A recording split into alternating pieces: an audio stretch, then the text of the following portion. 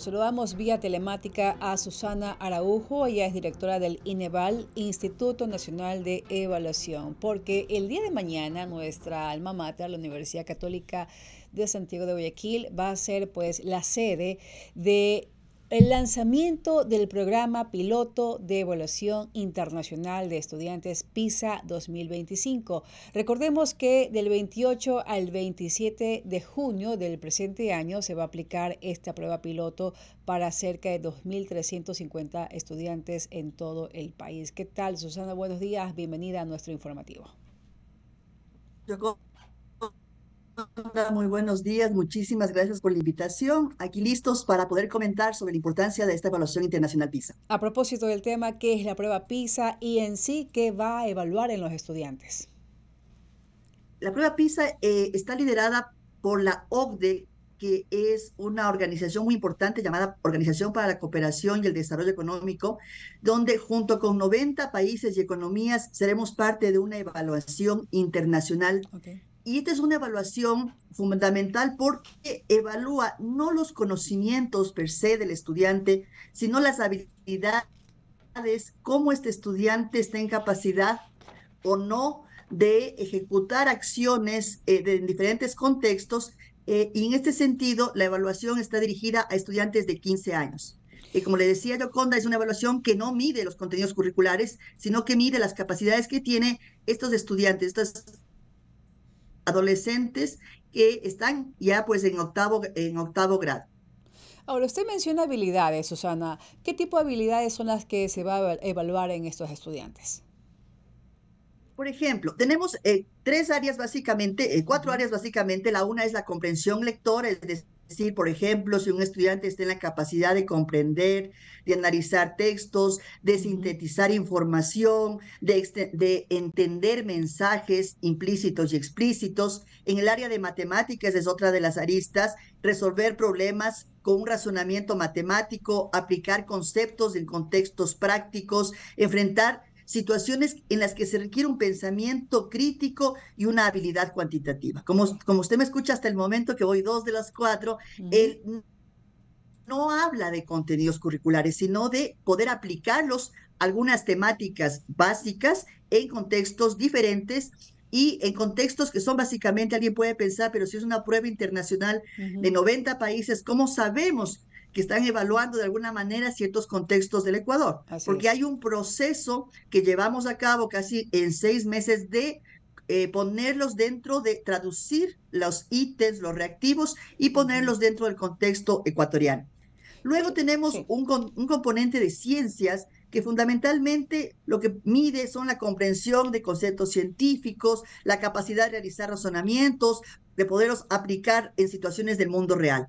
Esta es un área muy importante, especialmente porque según los resultados que dimos a conocer en febrero del presente año, en nuestra evaluación interna del ser estudiante arrojó que teníamos una baja importante en el área de ciencias naturales. Y creo que esta es una muy buena manera de saber si con las acciones y los planes de mejoramiento, el próximo año que vamos a tomar la prueba podremos eh, mejorar este componente. Y finalmente, un aprendizaje en el mundo digital que fundamentalmente lo que trata es de medir la capacidad de los estudiantes para eh, aprender, para participar en un aprendizaje mientras utilizan herramientas herramientas digitales. Entonces, como mira Yoconda, son cuatro componentes fundamentales que miden tanto la comprensión lectora, la matemática, las ciencias y algo que es tan importante en este mundo actual, el aprendizaje en el mundo digital. Susana, está bastante claro entonces. Significa que esta prueba entonces es estandarizada a nivel de los países que van a participar, con lo que usted nos explica de que no vamos a estar en desventaja respecto a la malla curricular con otras naciones.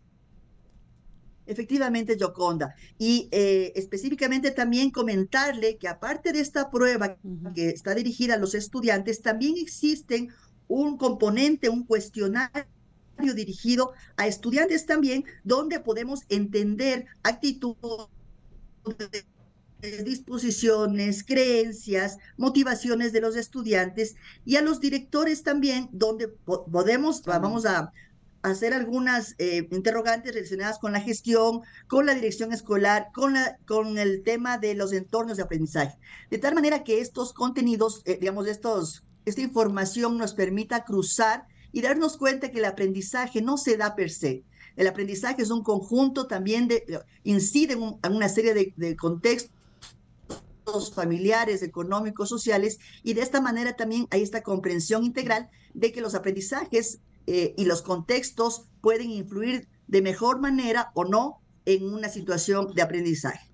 Susana, eh, en el año 2015 nuestro país fue evaluado por primera vez y las pruebas y asimismo eh, las pruebas que a las que los chicos en ese momento se sometieron fueron ciencias, lectura y también matemáticas. De estos resultados, eh, lo que además de pretender evaluar el aprendizaje de los estudiantes en el ecuatorianos, también se pretendía mejorar las políticas públicas en materia educativa. ¿Esto se ha logrado en el Ecuador, Susana?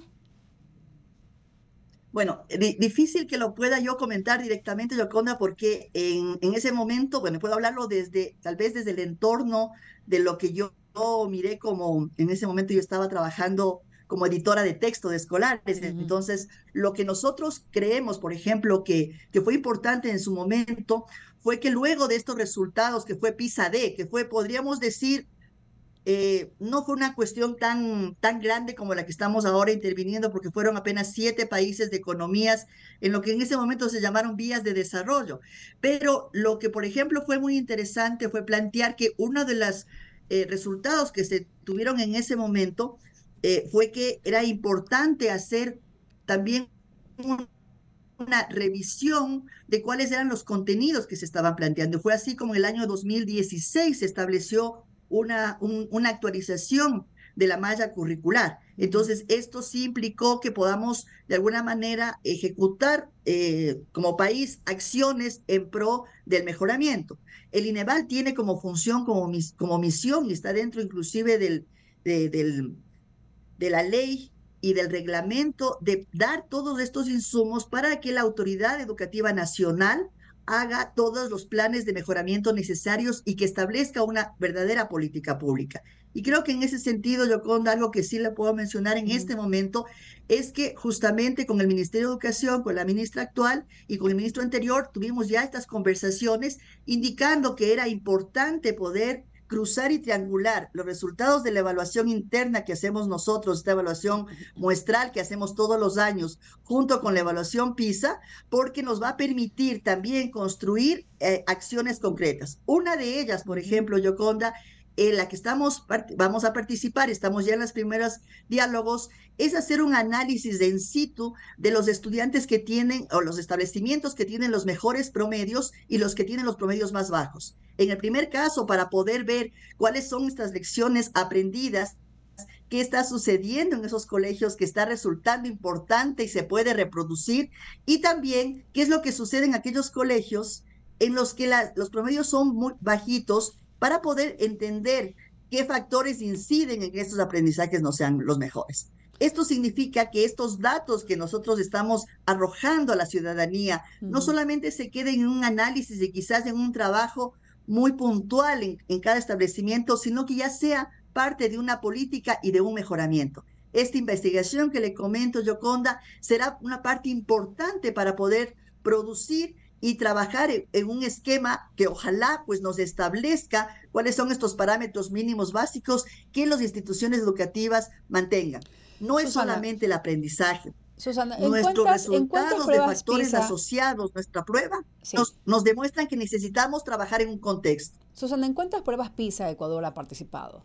Sí, doctor.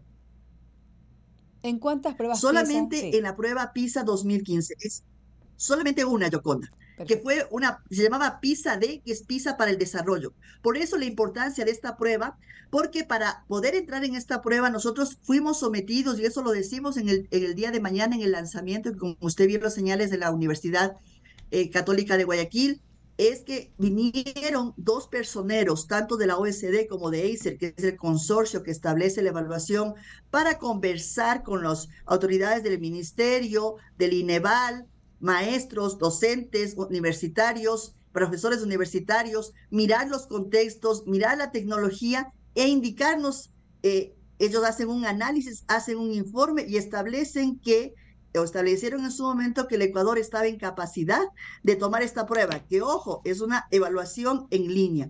Por eso es que es tan importante establecer una buena sinergia y esto lo hemos hecho con el ministerio, de tal manera que estas pruebas que, como usted menciona, inicialmente para 50 instituciones educativas y 2.350 estudiantes, se dé de la mejor manera. Susana, y esta prueba también mide a los docentes porque también sería importante evaluar la pedagogía impartida por los docentes, porque si en el 2015 eh, la prueba no fue tan buena para los estudiantes, quizás puede ser el problema otro, la pedagogía impartida en, a nivel nacional. Sí, lo que usted dice es muy cierto, pero lamentablemente la prueba PISA no mide directamente al docente. Como le decía, lo que mide es la gestión escolar dentro de lo que sería el líder eh, principal del, del, que sería el, el, directivo. Sin embargo, esta prueba no, no mide al docente. ¿Y usted no cree que la pandemia pudo haber repercutido en el aprendizaje de los estudiantes? De hecho, eh, las, los cifras y los datos nos arrojan esto, eh, Yoconda. Nosotros hicimos la evaluación, tenemos un comparativo y desde ahí les invitamos a las personas que nos, que nos están mirando, nos están escuchando, porque nosotros hemos hecho una comparatividad entre eh, lo que son los resultados en los últimos tres años. Entonces, em, les invitamos desde allá que conozcan lo que el INEVAL hace, los resultados de lo que el INEVAL la roja a través de la eh, plataforma www eh, arroba, eh, perdón, www.evaluación.gov.es, donde van a poder tanto ver los resultados de los últimos de los últimos años y también en esta plataforma podrán acompañarnos. Vamos a tener ahí colgado un que le llaman un banner donde dar el clic ustedes podrán escuchar eh, la presentación que vamos a hacer el día de mañana de 10 a 11 y media, donde vamos a presentar qué es esta prueba piloto, para qué sirve una piloto antes de la definitiva. Y vamos a tener un conversatorio muy interesante desde diferentes aristas de cómo ven la participación de Ecuador en estas pruebas internacionales. Importante lo que usted señala, Susana. Entonces, eh, al entrar en esta página, por favor, les pedimos a aquellos interesados en el tema educativo que nos puedan acompañar. Un tema que debería interesarle no solamente a ustedes en el área de docentes, sino también a los padres de familia, también conocer cuál es el grado de aprendizaje de los jóvenes, en este caso ecuatorianos. ¿no? Para recordarles a la audiencia, el evento se va a desarrollar mañana a partir de las 10 de la mañana, como lo mencionó Susana Araujo, quien es directora del INEVAL, va a ser transmitido en las redes sociales de, del INEVAL, en YouTube y en Facebook, y también en el Facebook de la Universidad Católica de Santiago de Guayaquil. Susana, gracias por habernos acompañado en esta mañana. Yoconda, muchísimas gracias a todos. Un fuerte abrazo. Bien, este fue el diálogo junto a Susana Araujo, quien es directora del, del INEVAL.